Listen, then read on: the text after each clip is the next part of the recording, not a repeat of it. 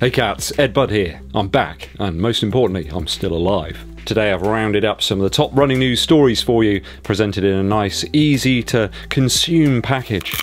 Let's get straight to it.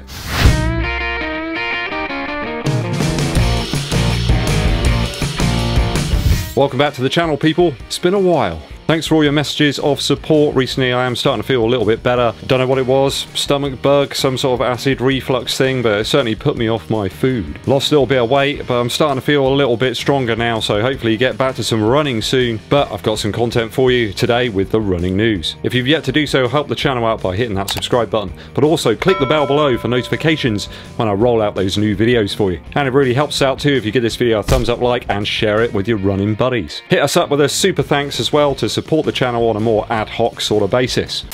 Story 1. It was awesome the other day to see some more televised running on the UK TV stations. It really did raise my spirits a little bit to see the Great North Run getting some decent coverage. I think the organisers reckon there's about 60,000 people. Hopefully I can be one of those 60,000 next year. This is a race I really want to do. If you've done the Great North Run in the past, or you're going to do it next year perhaps, let me know down in the comments. It generates a massive amount of money for charities, which of course is always important, especially these days. I think there was a charity that they covered that collect patients who are receiving cancer treatments and transport them where they got to go and get them back home just so it removes that worry and anxiety about getting back to where they needed to be. So some fantastic charities there that you can support. I think it was actually an on-running sponsored athlete that won the women's race. Helen Obiri took the top spot with a very strong finish. She's a very highly decorated Kenyan runner. She came in about 1 hour 07. It was the famous Ugandan road and track legend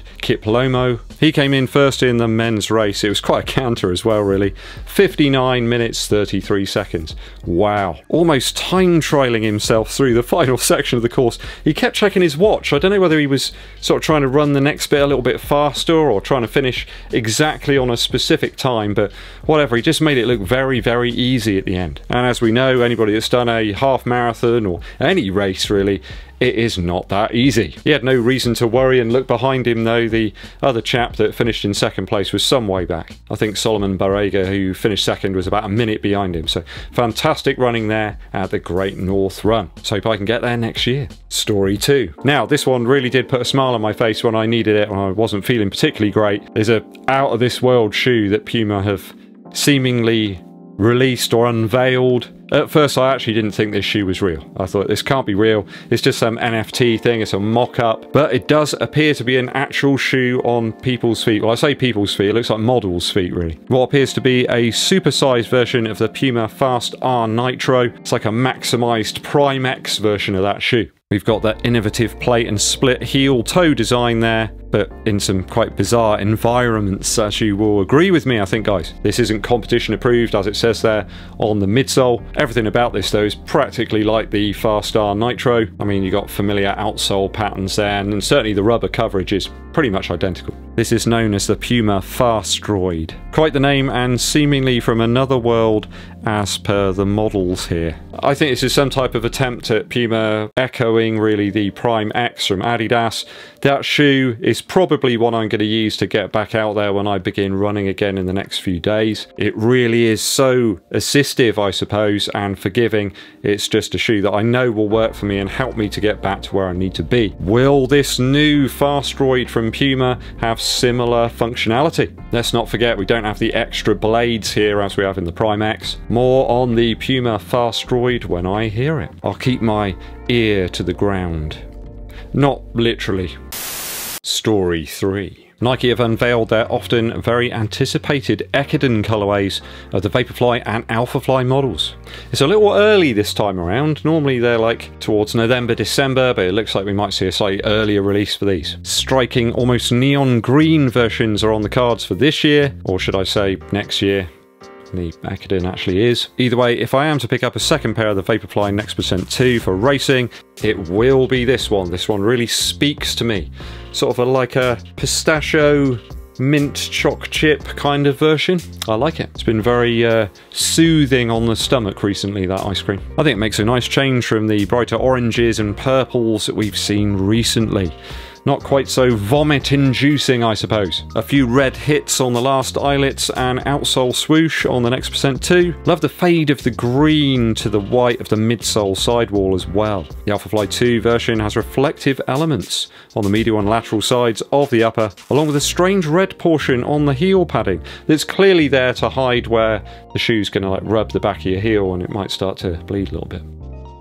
That's clearly why they've put that in. It's just a really weird position for that, I think. I'm not such a fan of the Alphafly 2 colourway here. I've got a pair of those and I've still got to take them up to 100 miles. I don't need another pair. But that Vaporfly Next Percent 2 could push me over the edge to pick one up. It really is a lovely colourway. It speaks to me in a language that I don't quite understand, but I like it. What do you think of these two? I think there's a Pegasus 39 as well coming out in these colourways. Let me know your thoughts and opinions downstairs. Story 4. On to some important matters here. Adidas have got a really positive campaign that they're pushing out over the next month or so. In October, Adidas will be supporting the Breast Cancer Now and National Breast Cancer Foundation with a special new shoe collection. So 15 Earth credits of your hard-earned cash if you buy any of this special collection will go towards those charities depending where you are in the world. There's a range of running, hiking and biking footwear but also some various different pieces of apparel options too. Though it does appear the collection is a limited edition, so once they're there and they're gone, that's your lot. There's some trail-based windrunner jackets and some fleece options as well, which are right on time judging by the change in weather recently in the mornings. It's getting really quite chilly out there now, and I'm going to enjoy it with my new Asics vest that they've sent me that I can wear.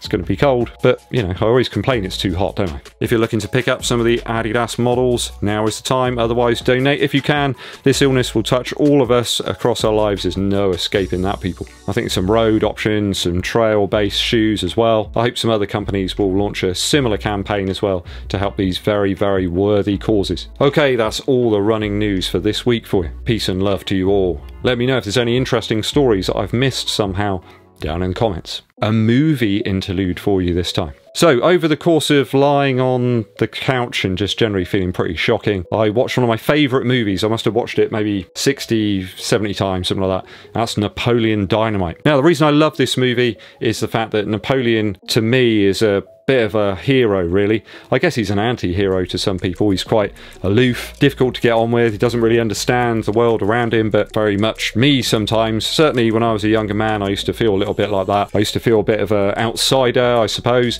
I think I still am, really. So I felt like that, and I can certainly empathise with the character here. I think Napoleon gets to where he needs to be, though, at the end, on his terms as well. He becomes who he needs to be and kind of who he is always destined to be, I suppose, at the the end of the film. It really is a fantastic thing. Some of the lines are delivered with this sort of dry disengagement, I suppose, from trying to be humorous. The film just sort of offers itself up to you and you've got to take it in and decide what you make of it. Some people will just say, well, what's it all about? It doesn't really go anywhere. It doesn't do anything. But that's the whole point of it. It's about the characters where they end up at the end of the film. Napoleon Dynamite, a legendary film made on a shoestring budget, really, and that has stood up to the test of time, a classic. Thanks for watching, people. It is always appreciated. If you're yet to do so, hit that subscribe button and click the bell below for notifications when I launch those new videos for you. Give this video a thumbs up like and share it with your running buddies.